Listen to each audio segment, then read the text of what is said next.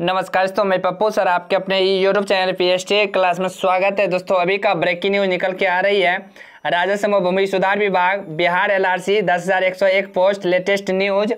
Court में कब तक सुनवाई होगी? ऑफिशियल नोटिस अभी अभी जारी किया गया है विभाग की तरफ़ से, जो कि इस वीडियो में डाउनलोड करके बताने वाले हैं। और बिहार एलआरसी पर जो अपडेट निकल के आई है तो सारी जानकारी इस वीडियो में बताने वाले हैं। इसलिए यह वीडियो बहुत इंपॉर्टेंट होने वाली है। वे सभी स्टूडेंट के लिए जो राजस्व व भूमि सुधार विभाग में जॉब करना चाहते हैं न्यू वैकेंसी आने का इंतज़ार कर रहे हैं, विज्ञापन जारी होने का इंतज़ार कर रहे हैं तो बिना स्किप के वीडियो को पूरा देखिएगा। इससे पहले हमारे चैनल पर अपने चैनल को सब्सक्राइब कर ऑल नोटिफिकेशन ऑन करिएगा। डेली बेसिस से सही वीडियो पाने के लिए। दोस्तों, वीडियो में बने रहिए। चलिए बिना समय गवाए हुए वीडियो को स्टार्ट कर लेते हैं। और नोटिस में क्या आया है डाउनलोड करके बता रहे हैं, क्योंकि विभाग की तरफ़ से अभी अभी भेजा गया है और बिहार एलआरसी पर क्या अपडेट निकल के आ रही है तो दोनों चीज़ इस वीडियो में बता रहे हैं, इसलिए आप लोग वीडियो में बने रहिए। देख लीजिए दोस्तों, पहले डेट देख लीजिए यहाँ पर, तीस एक दो हज़ार तेईस, क्योंकि आप लोग क्या करते हैं वीडियो पूरा देख लेते हैं, उसके बाद डबल मीनिंग का उपयोग करते हैं और कमेंट करते हैं। दोस्तों, आप ही लोग के लिए वीडियो बनाया जाता है और आप ही लोग के लिए अपडेट हमेशा देते हैं और हमारा चैनल आप ही लोग के सपोर्ट के लिए बनाया गया है। इसलिए और ऑथेंटिक ही जानकारी आप लोग को प्रोवाइड करते हैं। तो चलिए नोटिफिकेशन डाउनलोड कर लिए। नोटिफिकेशन में भी क्या आया है, चलिए हम आपको पढ़ के बताते हैं। आप वीडियो में बने रहिए और वीडियो को पूरा देखिएगा।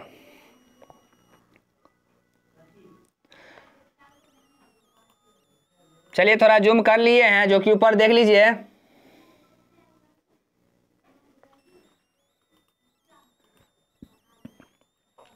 बिहार सरकार राजस्व व भूमि सुधार विभाग।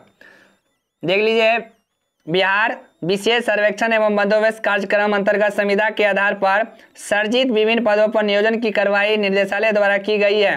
नियोजित संविदा कर्मियों की प्रतिनियुक्ति राज्य के विभिन्न बंदोबस्त कार्यालयों में सर्वेक्षण कार्य हेतु किया गया है। इन कर्मियों का निर्देशालय स्तर पर संधारित आर टू आर सॉफ्टवेयर में व्यक्तिगत सूचना कतिपय कारणों से अधितरण नहीं हो रहा है, जिसके कारण कर्मियों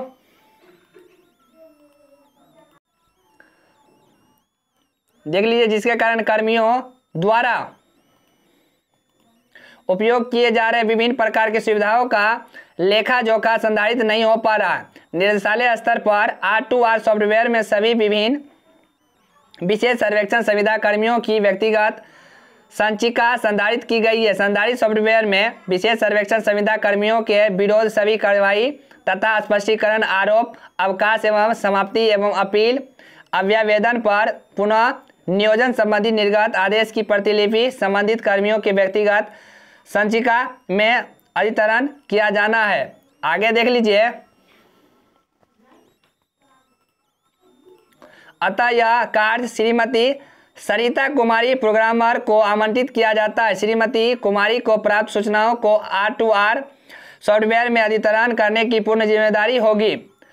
देख लीजिए दूसरा सभी विशेष सर्वेक्षण संविदा कर्मी स्थापना शाखा पटल को निर्देशित किया जाता है कि सर्वेक्षण कर्मियों के विरोध की गई सभी प्रकार के कार्रवाई की प्रतिलिपि के रूप में श्रीमती कुमारी को उपलब्ध कराना सुनिश्चित करेंगे। तीसरा, यह आदेश तत्काल प्रभाव से लागू होगा। जो कि आगे देख लीजिए, जय सिंह निर्देशक, वो अभिलेख में परिमाप, जो कि आज का है तीस एक दो हज़ार तेईस। तो दोस्तों, जो जिसका हो गया है, जो जॉब कर रहा है, उसके बारे में आप सोच रहे हैं और जो वैकेंसी आप रद्द कर दिए हैं, दस हज़ार एक सौ एक पोस्ट उसके बारे में आपको नहीं दिख रहा है। बच्चा परेशान है, बच्चा आंदोलन कर रहा है, हर चीज़ कर रहा है। उस पर भी ध्यान दीजिए। जय सिंह महोदय जी, आप लोग आप तो है यहाँ पर, बताइए, उस दिन क्या बैठक में बोले थे आप? जो बहुत जल्द आपको वैकेंसी देखने को मिल जाएगी, आप लोग धरना प्रदर्शन नहीं कीजिए, हर चीज़ की, नहीं कीजिए। हम लोग धरना प्रदर्शन बंद करवा दिए। उसके बाद आप पुराने ही जो भी कर्मी है, उसी को देख रहे हैं। नया बहाली को लेके कुछ भी आप नहीं कर रहे हैं। इसलिए आपसे, जय सिंह जी, आपसे निवेदन है कि जल्दी से जल्दी न्यू बहाली लाने का कृपा कीजिए। नहीं तो फिर से हम लोग धरना प्रदर्शन के लिए उतर जाएँगे। या आपसे अभी वन निवेदन है मेरा। दोस्तों, इस वीडियो में यही जानकारी हम देने वाले थे और फिर से हम लोग एक प्रतिवेदन जय सिंह को लिखे हैं न्यू बहाली को लेके जल्द से जल्द न्यू बहाली निकालिए, नहीं तो फिर से हम लोग धरना प्रदर्शन करेंगे। इसलिए देखिए प्रतिवेदन के हस्ताक्षर कर दिए हैं, जिस पर हम आपको नए वीडियो में दिखाएँगे जो हम लोग क्या दिए हैं प्रतिवेदन में क्या हम लोग को मांग है और क्योंकि हम लोग एक ही अभी मांग है। जल्द से जल्द जो आप वैकेंसी को रद्द किए हैं, उसको फिर से ऑनलाइन प्रक्रिया शुरू कीजिए और एग्ज़ाम ही लेना है तो एग्ज़ाम के आधार पर आप लीजिए। तो इनका स्पष्ट कहना था, जब तक कोर्ट में केस चल रहा है, वह क्लियर नहीं हो जाएगा, तब तक हम कोई इस पर एक्शन नहीं ले लेंगे। तो फिर से दोस्तों, एक प्रतिवेदन दिए हैं। उसके बाद देख लीजिए क्या एक्शन लेते हैं। तो फिर से हम आपको अपडेट कर देंगे। इस वीडियो में इतना ही तक वीडियो अगर आपके लिए हेल्पफुल है तो जितना भी सोशल मीडिया उस पर दबा के शेयर कीजिए।